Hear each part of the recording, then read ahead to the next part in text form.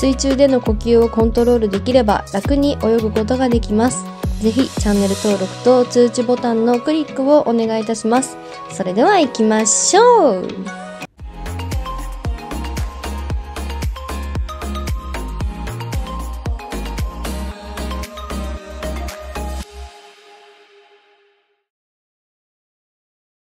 どうもセリカです。今回の動画は水中で自分の体を自由自在にコントロールすることができるようになる練習法をご紹介していきます。水中で自由自在に体をコントロールするためには肺に入っている空気を自分で調節するようになる。そしてそれを行って沈む浮かぶっていうのをコントロールできるようになれば泳いでる時の重心移動も簡単に行うことができ楽に泳ぐということにも直結してきます。それでは早速まずは水中で鼻から水を吐くそして水上では口から息を吸うというのを見ていきましょう。まず鉄則としては水中では鼻から息を吐いてください。理由としては、まあ、口で吐くよりも鼻からの息吐いた方が少しずつ吐ける。基本的に人間は肺に空気があった方が水中では楽に行動を行うことができるのでできるだけ少ない量で鼻から吐き続けることを意識してください。もう一つ鼻から息を吐く理由としては泳いでる最中、まあ、もしくは水中にいる時に鼻に水が入るのを阻止してくれます。よく息継ぎなんかで鼻にどうしても水が入ってしまうんですけどっていう方は鼻から水中で息を吐いてないっていうのが結構多いので鼻に入りやすいという方はぜひ鼻から息を出してみてください。今ご覧になっている映像はボビングという練習法です。今私は深いところでやってるのですが皆さんはぜひジャンプしながらこのボビングをやってみてください。続いての映像はこちらです。もし最初ボビングをジャンプしながら前に進めないという方はまずは壁を持ってボビングを練習してみてください。このように沈んだり出てきたりを繰り返して行います。水中では必ず水から息を吐きます。そして水から顔が出たら息を口から一気に吸ってください。できるだけ水中にいる間に鼻から息を全て出し切りましょう。肺の大きさっていうのはずっと限られてます。空気がいっぱい入ってたら新しい空気は吸えないです。なので水中ではできるだけ空気をほとんど全部出していいです。出さないと新しい空気が次入ってこないので苦しくなってきてしまいます。よくクロールの息継ぎがどうしても苦しいとかうまくいかないという人の中に水中で息を吐き切るっていうことに恐怖を覚えている方がいらっしゃいます。まずはそれを拭うためにもこのような練習をしてみてください。水中で息を吐いても大丈夫だよっていうのを脳にまず覚えさせることが大事になってきます。楽に息継ぎをするもしくは楽に泳ぐためには自分の肺の中に今どれぐらい空気が溜まっているのかっていうのをしっかり認識できるようにならないとなかなか難しいです。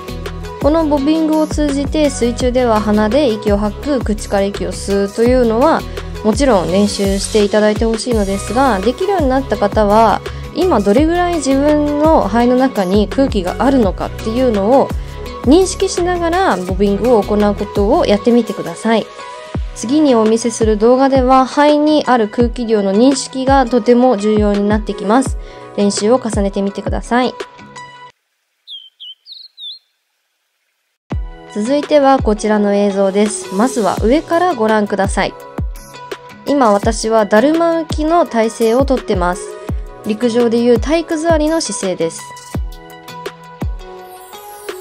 徐々に沈んでいってるのがわかりますでしょうかでは水中から見ていきましょう。体育座りの姿勢をずっとキープしていきます。そのままゆっくり鼻から息を吐いていくと徐々にこのように体が沈んでいきます。最後の方はもうほとんど空気を吐いていません。それでは細かく解説していきます。まずは沈むためには肺から空気を抜く必要があります。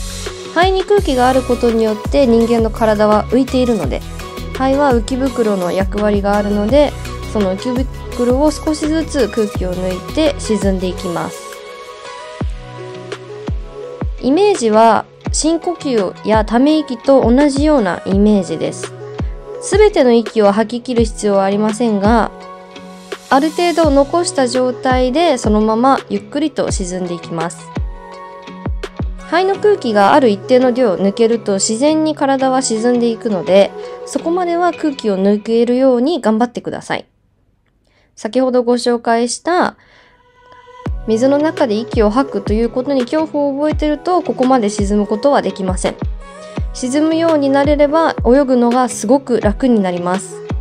水中でも自由自在に沈んだり浮いたりできるように自分の体をコントロールしていきましょ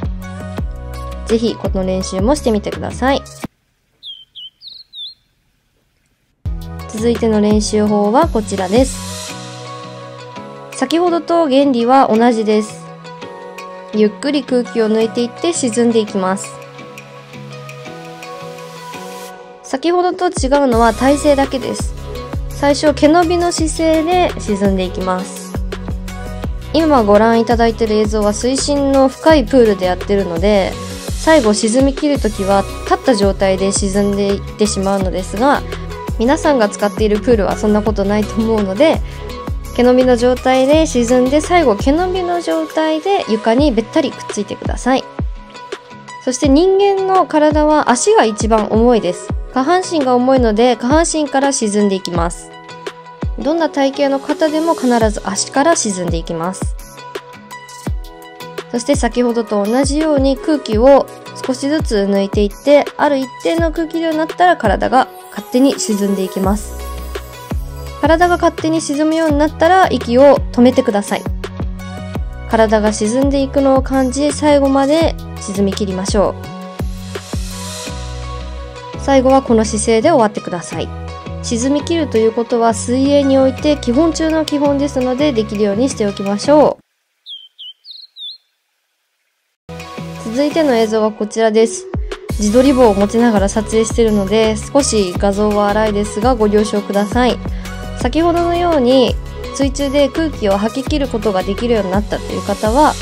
バタ足をビート板を持ちながらバタ足を行って5秒息を止めてブクブクパを行いましょう。今下半身見えていませんがバタ足を行っています。ビート板を持ちながら5秒息を止めてブクブクパをしていきましょう。ということで水中での体のコントロール方法はいかがでしたでしょうか？ぜひ楽に泳ぐためにも水泳の基本中の基本である沈むということを体に覚えさせましょう水泳をやるからには水中でしっかり自分の体をコントロールできるようにしておきましょう。